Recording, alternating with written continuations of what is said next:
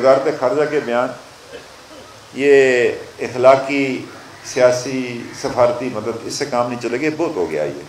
جو حکومت آتی ہے، حکومت کا نام بدل جاتا ہے، یا ترجمان کا نام بدل جاتا ہے، نیچے یہ جملہ ہوتا ہے اور جن کی ذمہ داری، ان سے کہنا چاہتا ہوں۔ جو ذمہ دار ہیں اس کے، کہ آپ کو کیا ہو گیا آپ کو؟ نہیں چھوڑے گا امریکہ، آپ کو کل نہیں نہ نکلنے دیا فائٹر سے، اس نے آپ کو باہر۔ آپ خود چادر رکھ کر خوف سے آپ لیٹے ہوئے، چھپے ہوئے آپ۔ کہ جی مجھے دشمن نہیں دیکھ رہا۔ یہ اسباب کی بنیاد پر نہیں قومی جنگ، یہ صرف فوج کی لڑائی نہیں ہوگی یہ یہ پوری قوم کی جنگ ہو گئی ہے۔ کیوں ڈرتے ہیں آپ لوگ؟ کیوں گھبراتے ہیں آپ لوگ؟ کیا کرے گا دشمن آپ کے ساتھ؟ وہ باہر نکلیں آپ۔ اور میں گزارش کرنا چاہتا ہوں جن کی طرف میرا اشارہ ہے کہ آپ کی ذمہ داری ہے یہ آپ کو کبھی اللہ معاف نہیں کرے گا۔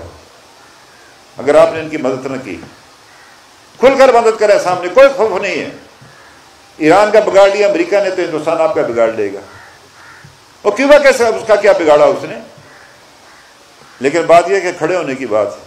آپ کیوں جنگ سے ڈرتے کیوں بار بار کہتے ہیں ہم جنگ نہیں کرنا چاہتے؟ کیوں نہیں کیوں نہیں کرنا چاہتے بھائی جنگ آپ؟ کیا ہو گیا آپ کو؟ آپ نہ بھر دیں جنگ نہیں کرنا چاہتے۔ کیوں نہیں کرنا چاہتے؟ اگر کل اس نے کی کیا، آپ کیا کریں گے؟ آگے چڑیاں رکھیں گے اس کے آگے؟ کوئی کہتا ہے میں پیسیفسٹ ہوں، کوئی کہتا ہے میں کیا بلا ہوں، کوئی کہتا ہے میں کیا بلا ہوں۔ پیسیفسٹ تو جاؤ، سنبھالو، چھوڑ دو کشمیر کو پھر۔ ہم جانے، ہمارا کام جانے۔ ان شاء اللہ تعالیٰ، یہ ریاست جب تک قائم ہے آزاد ریاست جموں کشمیر۔ کشمیر کے مسئلے پر کوئی سودا بازی نہیں کر سکتا۔ ادھر سے ہو یا ادھر سے ہو، کوئی بھی نہیں کر سکتا۔ نہ ادھر سے کوئی کرے گا، نہ ادھر سے کسی کو کرنے دیں گے۔ مجھے پتا ہے آج کل اسلام آباد میں، لاہور میں اور کراچی میں شام کو ایلیٹ کلاس بیٹھتی ہے شواز ریل کی بوتل کھول کر کہتے ہیں، نہیں جی چھوڑو، اس کو بس ہو گیا جو سو ہو گیا ہوگا تمہارے باپ کا سر ہو گیا، سو ہو گیا۔ تمہاری بیٹی بیوی، بہن اور ماں کے ساتھ کوئی اس طرح سلوک کرے، جو کرتا ہے، تو تم پھر یہی بوتلیں پیو گے؟ پتہ نہیں لوگوں کو غیرت کو کیا ہو گیا۔